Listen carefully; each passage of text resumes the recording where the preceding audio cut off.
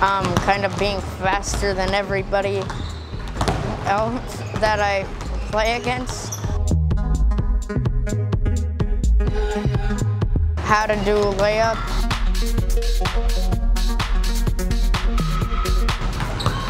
Being able to play with other kids my, about around my age. Probably play on a team for a school team.